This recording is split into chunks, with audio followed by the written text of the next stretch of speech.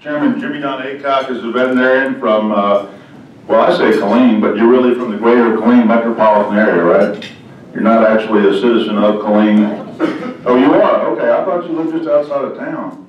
Uh, went to, graduated from Moody High School, uh, went to A&M, got a doctor of veterinary medicine.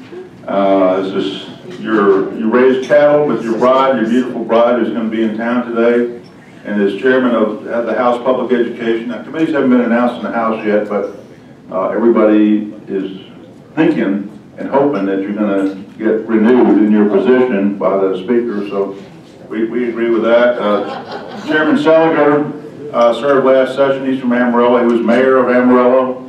Uh, he grew up in Borger, Texas. Now, have, how many of y'all have visited Borger, Texas? You know, they have a hat in Borger, they say nine exits right off the freeway, which are really just streets that intersect with the highway that goes through the middle of town, I think. Uh, but he had to go to Dartmouth. Urban attitude. Uh, he had to go to Dartmouth for some reason, some inexplicable reason. He couldn't stay in Texas to get his education. Uh, but he served last year, uh, last session as chairman of higher education in the Senate. He's going to do the same again. Uh, Jim Murphy uh, was elected in 07. He's from West Houston. Uh, he's worked on key legislation on workforce, job opportunities for students, and tax incentives, research and development. I think that was your major piece of legislation, which the business community is very, very appreciative. He's been uh, given awards by uh, TAB and Right to Life, National Coalition for Capital, and other organizations. He serves uh, as chair of the subcommittee on manufacturing, serves on the higher education committee. So we have a very distinguished uh, group this morning to talk about, obviously, something that's so critical and important to all of us, education slash workforce.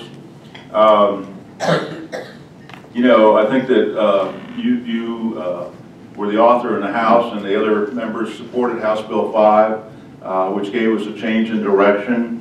Uh, can each one of you just tell us how you think, I mean, it's still early on, obviously, uh, but what sort of changes, if any, do you think we're seeing out there uh, with the local school districts based on your legislation, Chairman Aycock?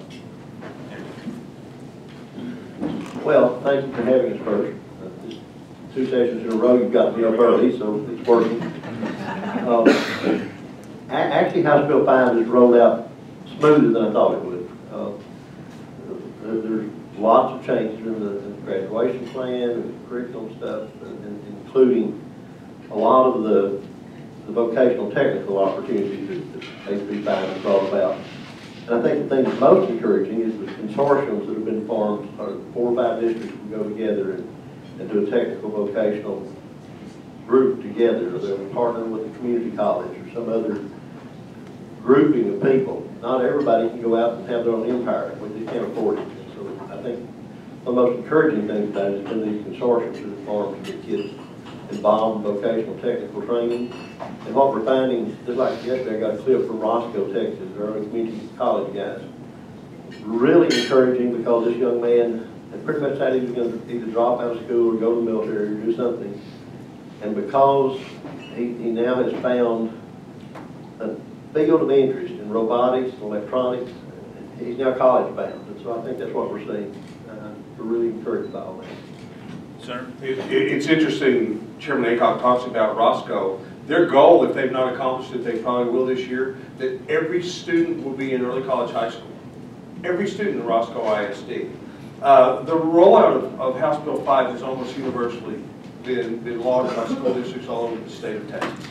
And it touches on so many important things from high stakes testing to electives to, to career and technical. And it's interesting because is, and, and I represent 82 school districts, and so I get to talk to a, a pretty broad cross section, that you have schools as small as the Glasscock County Independent School District that is going to offer all five of, of the pathways or endorsements for a small school district.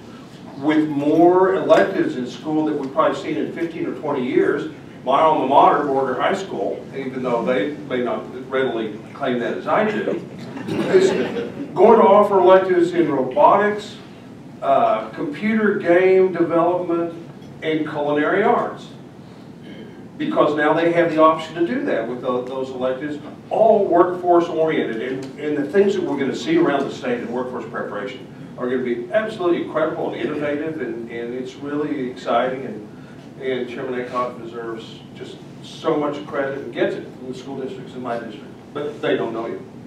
I do the best I can. Mr. Murphy? Yeah, I want to, yeah, I want to join in and- and say, is this working? Yeah, there we go, okay. I just want to join in and say uh, thank you to Jimmy Don for his leadership on House Bill 5, which um, I think has rolled out smoother than than I thought as well. Although I would say, um, maybe not as quickly, uh, the the change embraced. And so we we turned the corner, I think, for education in Texas in a in a very significant way, in a fundamental way. And I think it's going to really uh, translate into a lot of empowerment. So one of the things that uh, Senator Seliger and I have chaired a committee looking at workforce preparation. And not always is the infrastructure there to help people transition with that empowerment we've given to parents and to students to understand what are the career paths, what are the options, what are the degrees, what do they cost, where would I get them. We're still kind of struggling with, with those parts, and they're- coming together. And there are, there are pockets of, of excellence, but, but it really comes at a time where people have uh, embraced in a larger sense this notion of this, what was vocational ed and kind of poo-pooed. Um, Wall Street Journal, y'all may have seen, there was a front page article about a month ago about the $140,000 welder. If you read about this, so we posted that on my Facebook page. We said, see? And this guy writes me and says, well, he's working 70 hours a week. I'm like, well, if you want to make 140 grand, that's what you got to do, you know. So, so I'm sorry, his base his base salary is only 75. You know, that's terrible. And, and uh, so, so we have now kind of attuned people that these these options are there. And so one of the things that we'll be working um, this session particularly is to try to make sure all those mechanisms are in place for as many of those uh, community college districts and, and uh, uh, public school districts as, as we can. So, uh, while you've got the mic in your hand, why don't you start, both of y'all, I would ask, both Senator Seliger as well, to talk about the results of your committee. What suggestions did you all come up with? What are the top one or two in your mind uh, that you're going to be talking about to your fellow uh, legislators? Well, I'll mention one because I want to defer to the senator because my bills have to pass the Senate as well. So uh, one, one thing we did find is a breakdown, uh, and that sounds negative, a gap, if you will, uh, in the world of counseling. And that is to say that we have a lot of counselors who are prepared to talk to you about the, the grief of the loss of your parent, and, and that's important. But What we really want you to do is understand what your career options are, and what you'd be good at, and what they, know, where would you go to get those degrees, and the fact that as a seventh, eighth, ninth grader, you've got to start making some choices and decisions that are pretty significant for you. And so we need career counselors. And I will tell you, there are some districts, I represent the Spring Branch School District in Houston, one of the districts, and, and they have rolled out a very large, very robust career counseling program using a lot of people from industry, so they aren't necessarily paying all these people, so they're cheap, right? Uh, but they also understand who really knows what's going on in the workforce. And so this notion of a, a new element of career academic counseling has to come into play. I- I'd love to say everybody has uh, two parents at home that have been to college and totally get it, and know what's out there. That's not the case. And uh, so this, this is something we're going to need to really work on. And Bill, what we're uh, wrestling with is, is this something we should mandate? Should we incentivize it? Should we encourage it? Should we throw some money at it? That's where we're kind of, where the rubber meets the road. Right now, as I understand it, the ratio is about one to 400 uh, for counselors in Texas in general. Yeah, and, and I those mean, that's pretty we're- much an impossible task. No, it's impossible, because all they're doing is standardized testing, and maybe you see your counselor once or twice a semester? Right. Yeah. If, if then. So- Sen- Senator, do you think there's going to be an effort made? I mean, would you support uh, more money specifically for counselors? I would not earmark the money. I think if we put it in the basic program, a lot of the school districts realize that they need uh, counselors. It's up to them to determine what their manpower needs and for them to pay for them. Spring Branch is a good example of something else too, where they're bringing a lot of people into that counseling circle, teachers and, and administrators, and realize that, that House Bill 5 has a lot of moving parts. And if you have this young person who wants to go to A and major in engineering, not all those endorsements in high school are for him, but he needs to know which ones are there, which courses he needs to take, which electives will enhance his efforts, and, and it's gonna be counselor heavy. Um, What the things that Jim and I learned in our committee is relevance and articulation when it comes to, is that Absolutely. yeah, relevance is to make sure that those career and technical offerings are relevant to the workforce. We don't want to be too regional about that, but it's clear that, that for some local industries, that they need certain things, prerequisites. And that's why in House Bill 5, there is, is the provision that local school districts and local industry can develop their own courses that have to meet the requirements of Texas Essential Knowledge and Skills, but can use materials provided by industry, and they can use, they can have internships by local industry, and that's how you get people when Toyota and Lockheed Martin came and spoke to us. They talked about the things that they had planned. I'm not gonna hire every kid who goes through those sort of experiences, but they're gonna have sort of a pre-trained workforce. Phillips Petroleum at their, their refinery in Borger, I think, going to partner with uh, Borger Independent School District and West Texas High School for internships there. So people can get experience in things like safety engineering and maintenance and things like that. When we talk about articulation, young people, what they learn in high school and those career and technical endeavors that they undertake in high school need to articulate with the community college and with local industry to make sure that they're relevant and, and we get our money's worth out of their workforce preparation. So there are a lot of, of good things in there. It's going to take a lot more work and it probably hasn't been addressed uh, completely uh, legislatively, but I think we've made a lot of progress. Uh, Chairman Aycock, uh, when, when, you know, the average plumber today in Texas, I'm told, is 57 years old.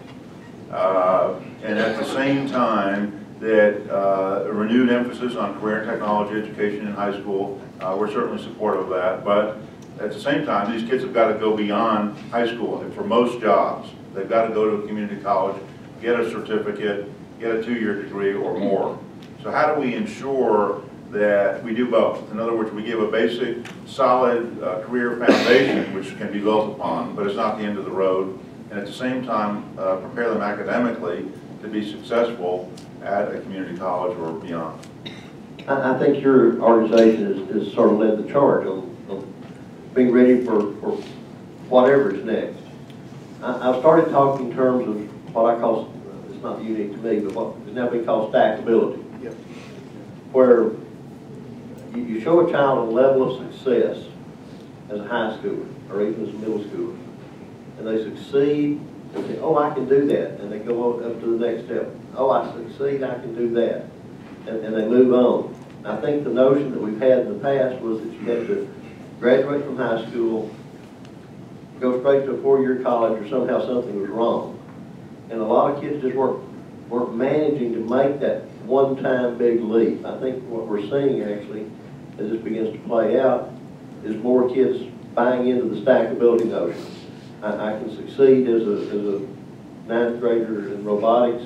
Oh, I might want to be an electronic engineer. Um, I might want to be a computer programmer.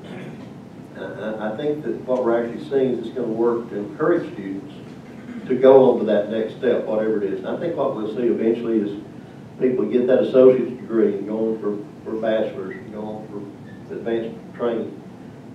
The discussion that was hard originally when we started talking about this concept was because we were so ingrained, everybody had to make that leap all at one time. Right.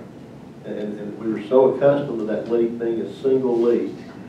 And, and I think the stackability concept is probably going to be more, more encouraging to people in the long run. Uh, One of the areas of